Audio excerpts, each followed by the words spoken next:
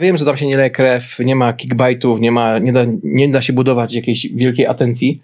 Ciekawostką jest to, że ten pan robi przepis na to, jak zarobić legalnie 8 milionów 8 lat. Chciałbym ci powiedzieć, że po pierwsze nie jesteś sam, po drugie mm, nie ma sytuacji bez wyjścia. Być może kiedyś będziemy na tym zarabiać, ale jeżeli przez półtorej roku nie zarobiliśmy nic, to świadczy o tym, że robimy to, bo chcemy, a nie dlatego, że musimy na, na tym zarabiać. Cipa, nazwisko, A nie tipa? chujda. Wiesz co? Nie wiem. To już nagrywa, tak? Tak, Jezu. Masz jakikolwiek stres przed nagraniami? Nie. Nie wiem. Why? Ale myślę, że stresu też nie miał bohater pierwszego mojego newsa. O którym powiesz za chwilę, jak ja powiem swój pierwszy news. Mega. Nie. Tak. Otóż w Krakowie wydarzyła się niesamowita historia. Jaka? MPK.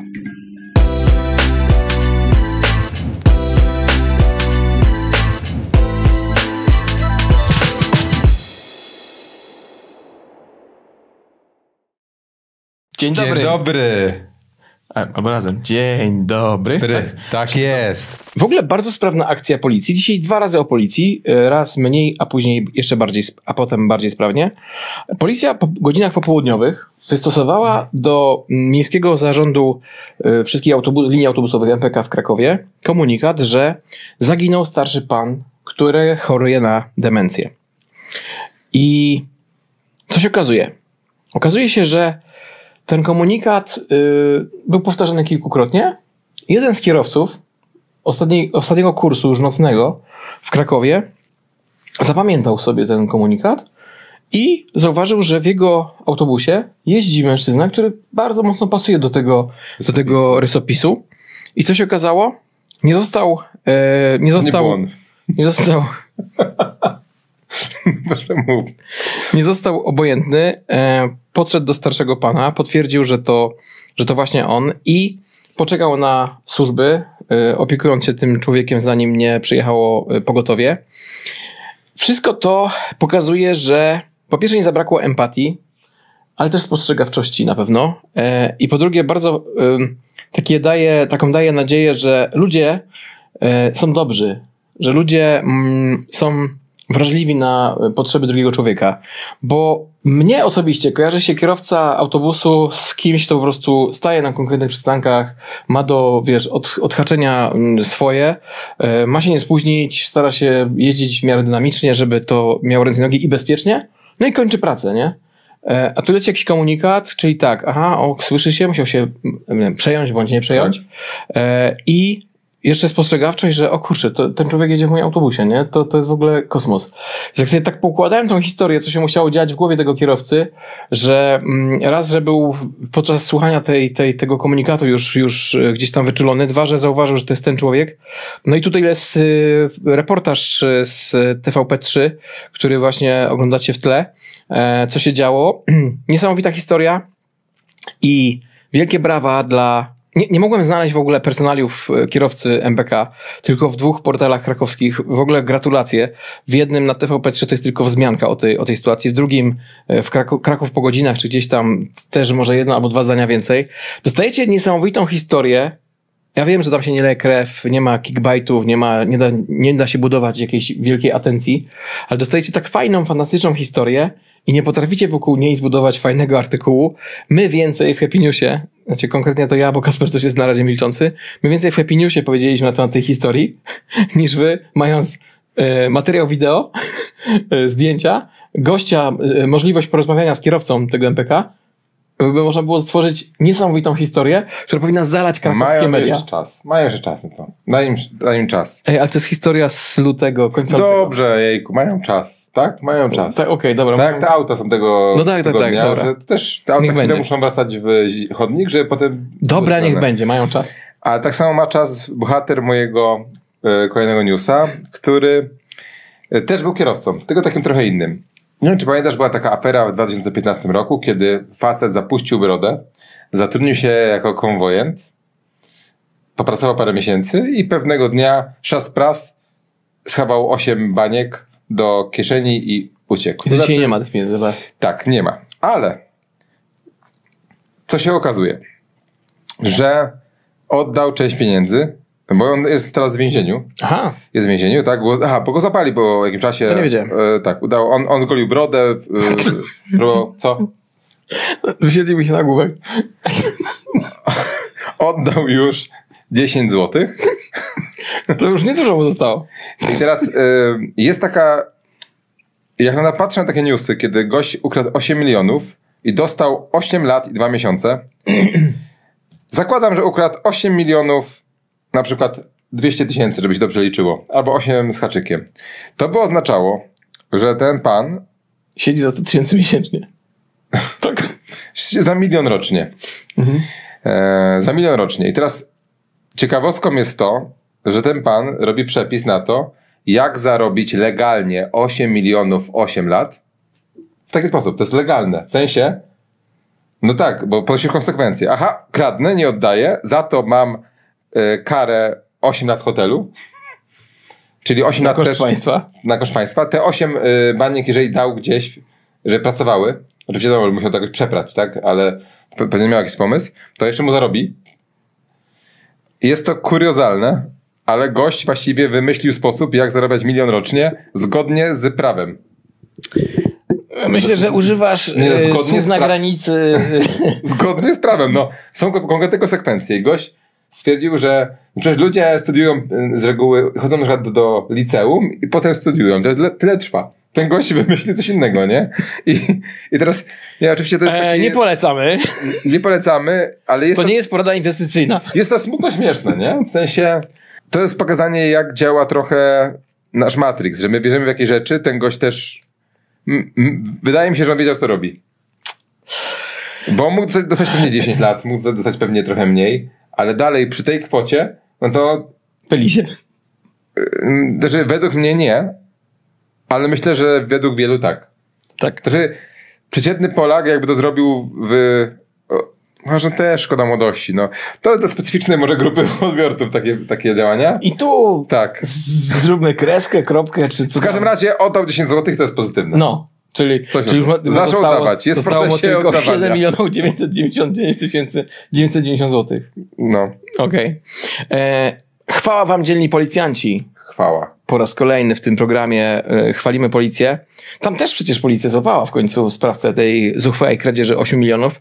A tutaj mamy sytuację, kiedy kobieta wyskakuje z okna i policjanci łapią swoje ramiona i powodują, że mm, kobieta bez żadnych obrażeń mimo wszystko oddana jest w ręce pogotowia. Dlaczego w ręce pogotowia? W ogóle happy news, tak? Y, Kobieta skacze z okna, policja została wezwana y, na miejsce, że, że jest taka sytuacja, że może się tak wydarzyć.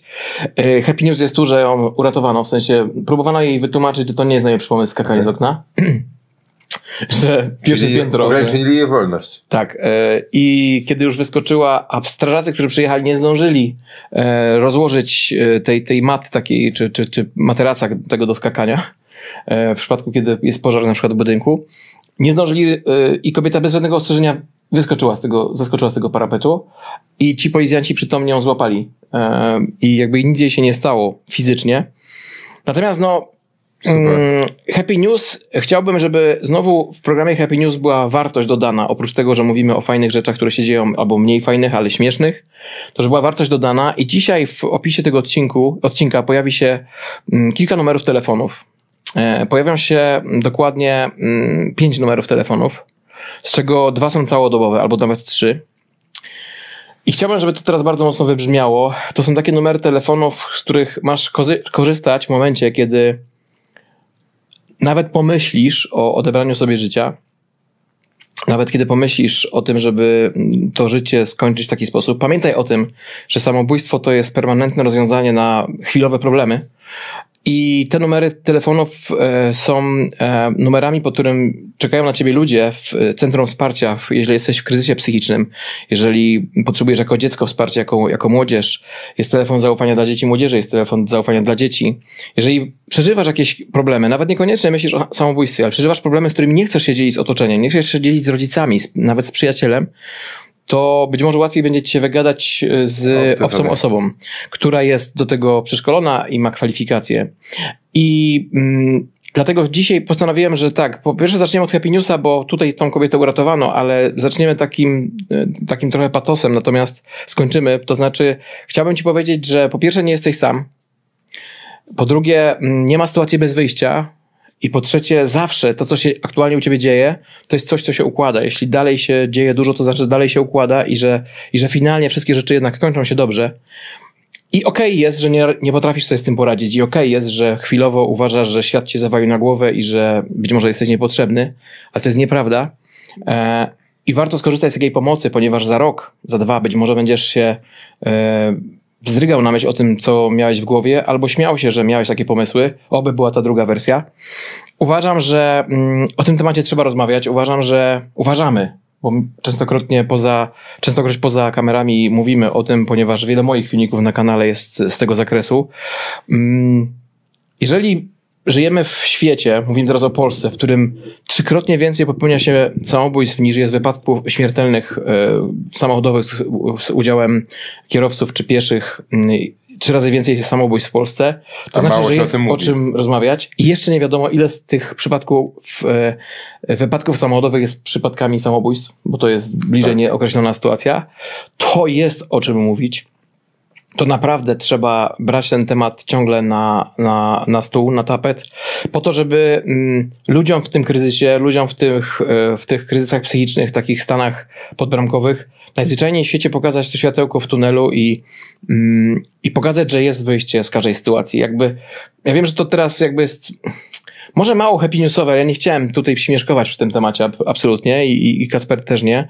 Dlatego, dlatego dzisiejszy odcinek e, absolutnie mm, chciałem e, dedykować ludziom, którzy sobie e, z tym tematem nie radzą albo, albo myślą, że nie radzą. I chciałbym, żebyście zaczęli korzystać z pomocy psychologa, psychoterapeuty, psychiatry. Jeżeli ten stadium jest początkowe, to naprawdę lepiej się, lepiej, lepiej e, korzystać z takiej, z, takich, e, z takiej pomocy psychoterapeuty. Jeśli stadium jest zaawansowane, to być może trzeba wprowadzić jakiś e, środek medyczny, który, który pomoże ci ustabilizować emocje. To też nie jest nic złego, a, a znaczy, każde wyjście jest lepsze niż, niż odebranie sobie życia. Dlatego, że... Tydzień temu, tydzień temu mówiliśmy o choćby herbacie, tak? Tak. I warto, warto szukać od takich małych kroków, bo szczególnie jeżeli ktoś ma jakąś depresję, czy, czy nie widzi żadnego wyjścia poza samobójstwem, no to jakikolwiek krok się wydaje olbrzymim krokiem, tak. przeważnie. Więc myślę, że nawet od tego, że, że napijesz herbatę, albo się ogolisz, albo się umyjesz, no to to są te pierwsze kroki. Natomiast i tak przeważnie e, nie ma takiego ciężaru, którego nie możesz unieść.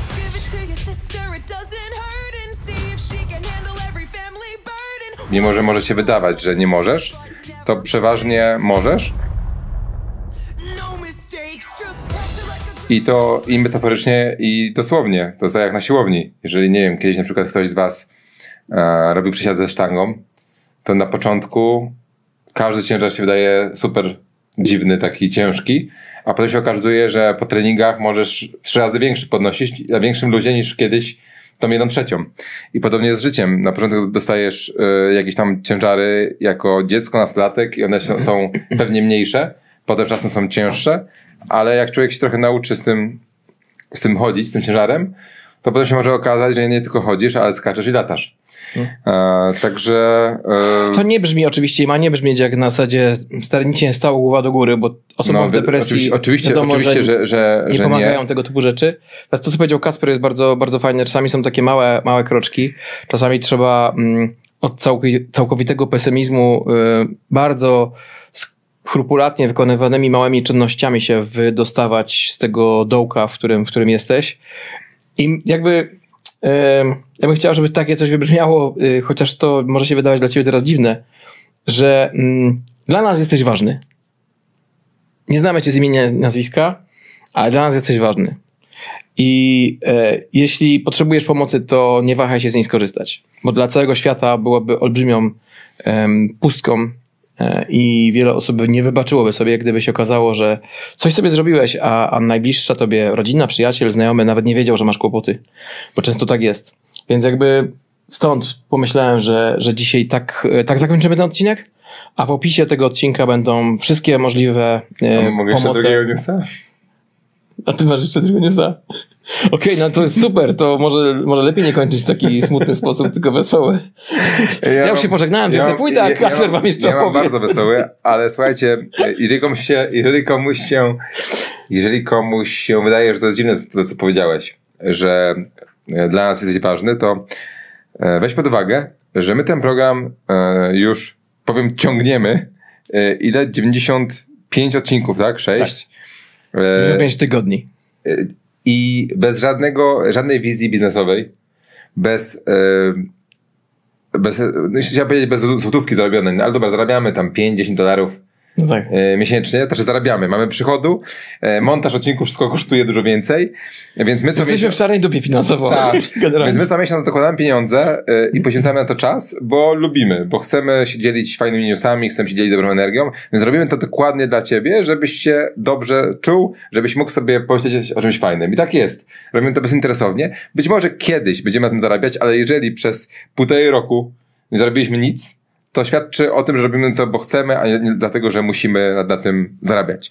E, ale... Dawaj tego newsa. Dajemy newsa, także tyle, jeżeli chodzi o, o takie różne dziwne stany. Natomiast czasem nie definiuje nas to, co czujemy, ale to, jak się nazywamy. Ty na przykład masz nazwisko znanego, e, znanego bardzo bogatego człowieka, czyli e, Abramowicz, a ja z kolei mam nazwisko, które brzmi tak niemiecko, trochę austriacko. E, Bisans. E, mówmy nie austriacko, dobra? Austriacko lepiej. Nie? Lepiej się czuję z tym. E, ale są ludzie, którzy wygrywają z nami na dziwne nazwiska. I uwaga, pani Sylwia dostała nieoficjalną nagrodę za najdziwniejsze nazwisko polskie. Jak one brzmi, Damian? Wiesz co, przypominam, przypominam ci, że ja kiedyś prowadziłem firmę, y, w której pracował telemarketing i my w, jeszcze na czas, za czasów książek telefonicznych y, mieliśmy taki konkurs telemarketingu. Dziewczyny znajdowały e, najgłupsze i najbardziej zabawne nazwiska i było tam nazwisko Cipa, nazwisko. A nie Cipa? Chujda. Cipa chyba. Tak to chciałem. Może. No. Pani Cipo, co tam pani? No. Chujda. Y, były takie bardzo, w ogóle czytaliśmy, nie wierzyliśmy, że to się znajduje w książce telefonicznej, nie? Ja wiem, że nikt z was nie ma takiego nazwiska, ale jeśli jest, sorry. A teraz Ale co, masz coś mocniejszego? Co powiesz na nazwisko Cyps y, albo Zyps? To są dwa nazwiska, czy jedno? A, widzisz. No właśnie jedno. O Jezu. Ja się myślałem, celowo zapytałem cię w taki sposób, bo myślałem, że powiesz, a, że Cyps to spoko, a Zyps to mniej, albo coś w tym stylu. Cyps albo Zyps to jest jedno nazwisko i pani Sylwia, kiedy podaje swoje nazwisko, to z reguły pytają, pani się decyduje, tak albo tak.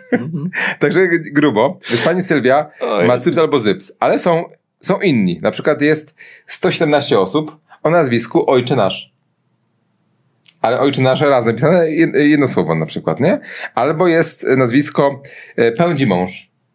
Pędzi mąż. Pieczy chlebek też jest. To ładne, nie? Także niektórzy noszą z dumą, inni mniej, ale na przykład jest pan Mariusz, yy, który... Faktycznie ta moja cipa słaba. No, no właśnie.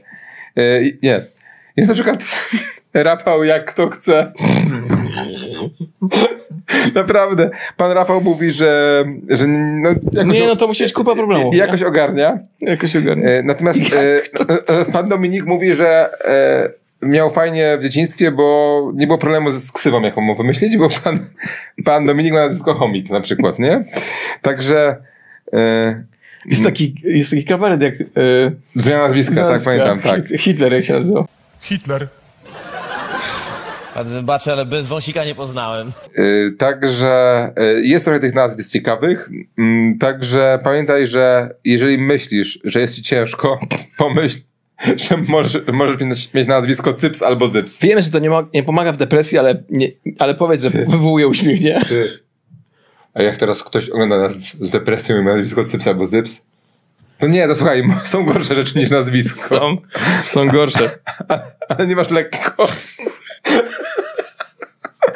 Kasper. To był Happy News. Widzimy się w kanale niedzielę o 18. Cześć. Cześć.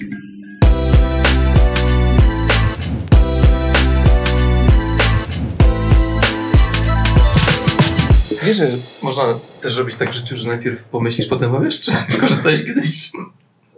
Ale po co?